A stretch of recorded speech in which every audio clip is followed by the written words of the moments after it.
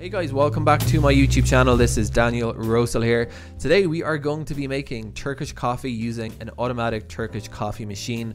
The one I own is the Arzum Okka Minio. These are pretty rare devices. They're made mostly by Turkish companies. I bought mine in Turkey a couple of years ago.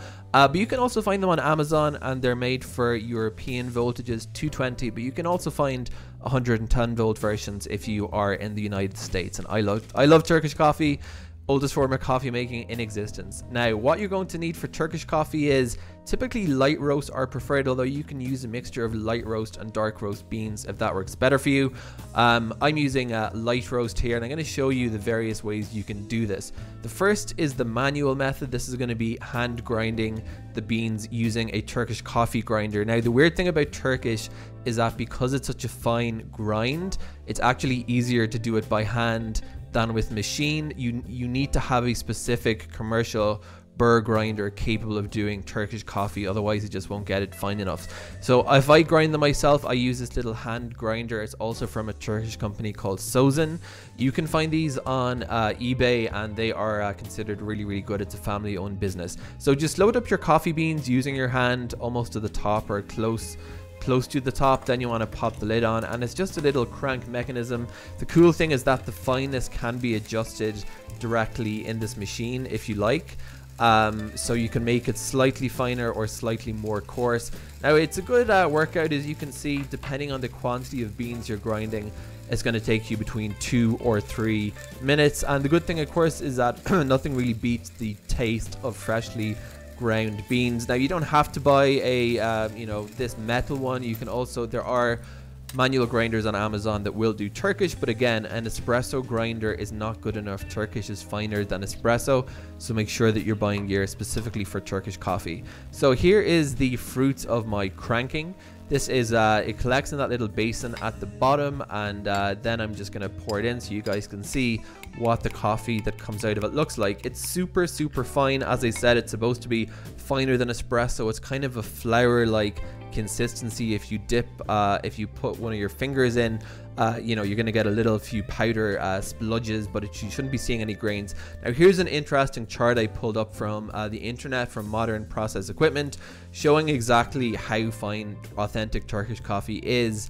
It's considerably more fine than espresso. So, again, you need to buy. So, if you want to go with pre ground coffee, this is coffee from Izhiman in Jerusalem, which is my favorite coffee store here. I always write down the date I bought it so I can consume it reasonably quickly. Um, now, if you don't have a Arab store in your area, you can or order from eBay. This is Mehmet Efendi, which is, I think, the oldest form of pre-ground coffee in the world. It's a Turkish company again. Or you can also find in your, if you have an Arabic supermarket, Middle Eastern supermarket, they're very fond of putting cardamom in their coffee. So you might find products like this. And uh, again, so if you can either grind it yourself or buy pre-ground. Now, the traditional method for uh, brewing Turkish coffee is on a fire or on a stove using a finjan or a cezve or an ibrik. Those are just words in Arabic and Turkish for this device. But um, I personally much prefer the the uh, the automated modern method using the Arzum Okka Minio. You can find more simple versions of this, the more elaborate versions, and ones that don't even have the automatic cutoff. The way this works is that when the foam rises, it tips off the sensor and then it stops. So I'm just going to go ahead now and plug in my Arzum device, and it works really, really quickly. So what I do is I measure out water in my coffee cup, and then I measure out one a tablespoon of ground coffee, whether I'm using pre-ground or freshly ground. This wasn't quite uh, one tablespoon, so I just added a little bit more. And uh, I like my coffee this strong. I don't like sugar in my coffee, but you can put sugar directly into this uh, contraption if that's the type of coffee you prefer. So I've just added, and I'm just going to give it a quick stir, and then all you literally need to do is fit the uh, the the electric finjan into the thing, and then press the button at the top. And the process, it's a very small quantity of water, of course, so the process happens really quickly. You're going to start smelling coffee, you're going to see some steam rising, and then it beeps a few times, and that's the automatic uh, cutoff. Now, traditionally, when you're making Turkish coffee on the stove, it's common to uh, have it come to the boil two times. if you like that, you can just hit the button twice.